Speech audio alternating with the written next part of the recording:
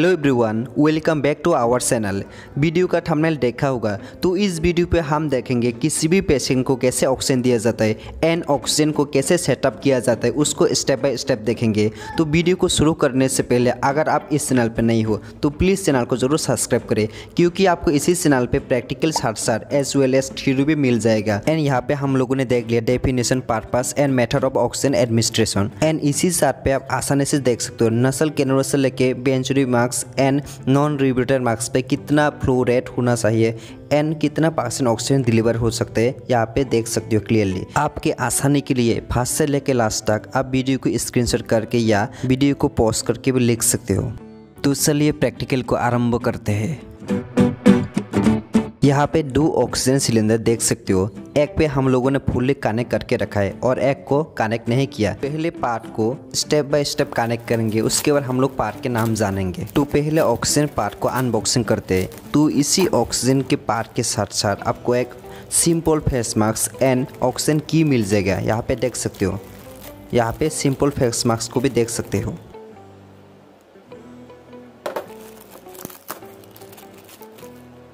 इसी एक बॉक्स के अंदर आपको ऑक्सीजन सिलेंडर के साथ कनेक्ट करने के लिए सारे पार्ट्स मिल जाएँगे।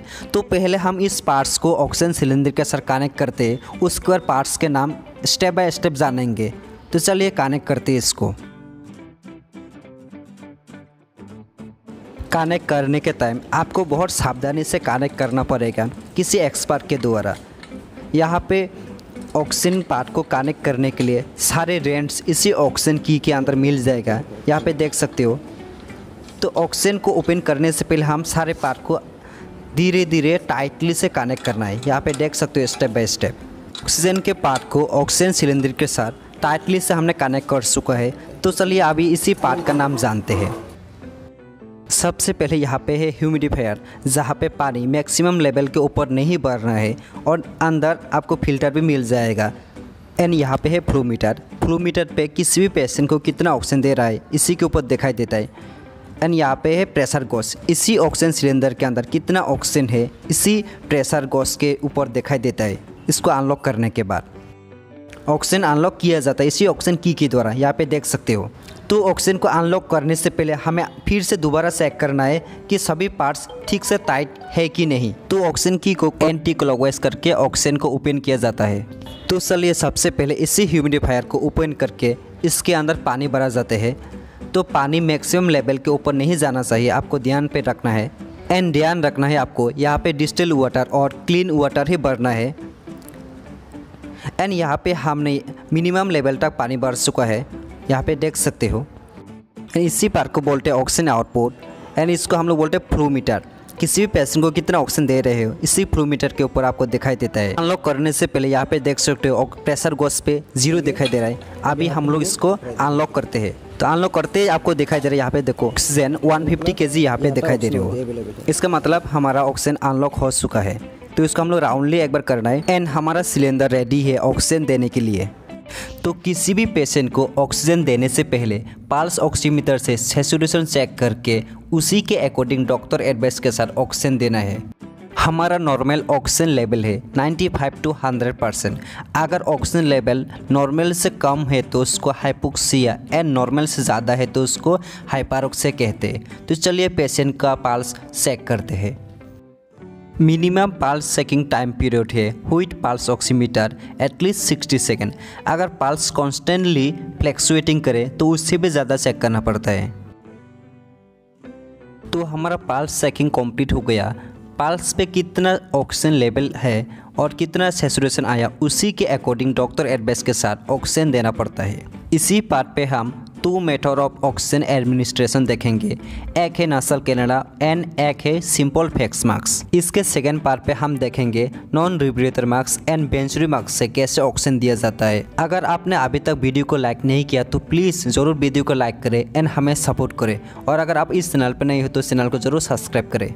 तो चलिए सबसे पहले नसल कैनोला से कैसे ऑक्सीजन दिया जाता है देखते हैं। नसल कैनोला पे नोस्ट्रल पे लगाने के लिए आपको दो शॉप प्रॉन्ग्स दिखाई देगा, यहाँ पे देख सकते हो।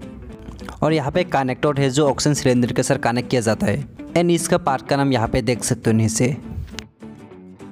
नसल कैनोला के जो प्रॉन्ग्स होता है, उसको आप ताश नहीं कर सकते। एंड नसल कैनोला से हम लोग one to four litre oxygen दिया जाता है। जो बिगिनिंग पार्ट पे हमने थ्योरी दे दिया। वहाँ पे जाके देख सकते हो। तो चलिए अभी लगा के दिखाते हैं।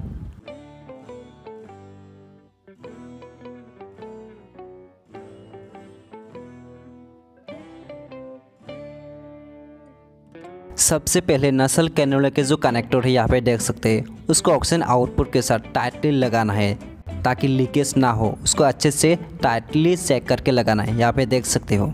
पाल चेक करने के बाद नसल कैनोला को पेशेंट के ऊपर देने से पहले यहाँ पे धीरे से रेगुलेटर को ऑन करना है। अकॉर्डिंग टू डॉक्टर एडवाइस कितना ऑक्सीजन देना है, उसी के हिसाब से हम लोग ऑक्सीजन देना है। यहाँ पे हम लोग देख सकते हो, ऑक्सीजन ऑलरेडी ऑन कर दिया है। तो यहाँ पे हमने थ्री लीटर ऑक्सीजन यहाँ पे ऑन करके दिखाया है आप लोगों को।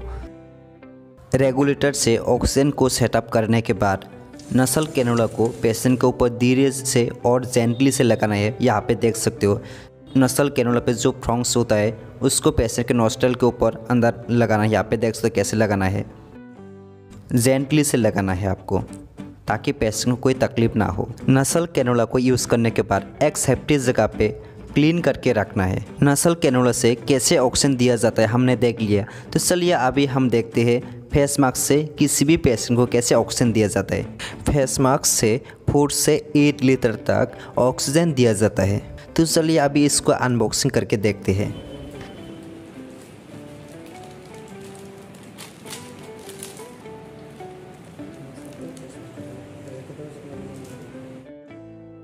यहाँ पे फेस मास्क एंड ट्यूब अलग से आते हैं तो इसको हम लोग अच्छे से कनेक्ट करना है, ताकि कोई लीकेज ना हो। तो हम लोग इसको अच्छे से कनेक्ट करते हैं, यहाँ पे देख सकते हो। तो कनेक्ट करने के बाद जो ट्यूब कनेक्टर होता है, उसको पहले यहाँ पे जो ऑक्सीजन आउटपुट होता है, उसके साथ अच्छे से कनेक्ट करना है, ताकि कोई लीकेज ना हो। फेस मास्क को पेशेंट के ऊपर लगाने से पहले रेगुलेटर से ऑक्सीजन सेट करना है अकॉर्डिंग टू डॉक्टर एडवाइस तो चलिए अभी पेशेंट के ऊपर मास्क को लगाते हैं। हमने पेशेंट को कितना लीटर ऑक्सीजन देना है? रेगुलेटर से सेट कर चुका है। फेस मास्क को जेंटली से पेशेंट के फेस के ऊपर लगाना है। एंड यूज़ करने के बाद उसको क्लीन करके एक सुरक्षित जगह पर रखना है। तो फेस मास्क से कैसे ऑक्सीजन दिया जाता है? हमने अच्छे से देख लिया। अगर वीडियो को लेके किसी को कुछ जगह पे डाउट है तो ज़रूर कमेंट करें। हमारे टीम ज़रूर रिप्लाई देंगे। अगर आपने वीडियो को अभी तक लाइक नहीं किया तो वीडियो को ज़रूर लाइक करें। और अगर आप इस चैनल पर नहीं हो तो चैनल को ज़रूर सब्सक्राइब करें। आज का वीडियो यही तक है।